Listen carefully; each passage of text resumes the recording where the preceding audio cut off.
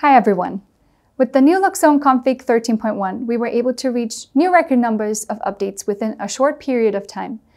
Today is the day when all new features and function blocks are also available in the Loxone app. Now I will show you what the new version of the Loxone app for smartphone, tablet, and PC can do.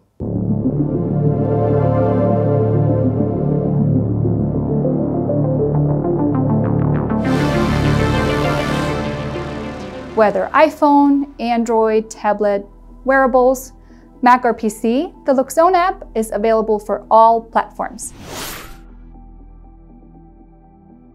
With the app update, all 7 meter function blocks now have a new visualization. The meter blocks form the essential basis of every energy management system.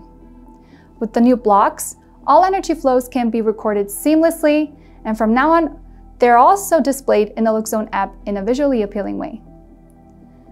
Through the new Energy Flow Monitor, all meter values are now summarized, and if desired, categorized or grouped, and also clearly visualized. In the Loxone app, you will find detailed statistics and data around the current energy flows, a comprehensive history, the building's degree of self-sufficiency, the self-consumption rate, as well as the saved costs and reduced CO2 emissions. Today, you can also update the recently released Energy Manager Generation 2 block to benefit from the redesigned visualization. Information such as the current production as well as the available surplus is displayed in a diagram.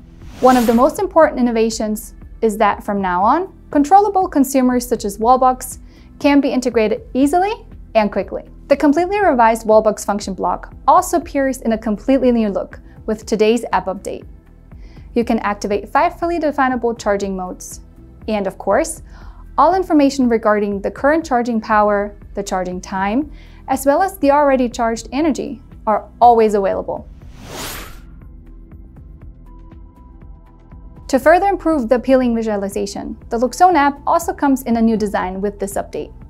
It is now even cleaner and clearer. Previously, Loxone's design concept moved towards clear edges with the introduction of the Touch Pure, which is now also continued in the visual appearance of the app. From the start, the Touch Pure Flex came with many icons for maximum customizability. So many of you wanted to be able to use these icons in the config and app, so we implemented those as quickly as possible. After the update to Loxone Config 13.1, new icons and symbols are now available in the Loxone app.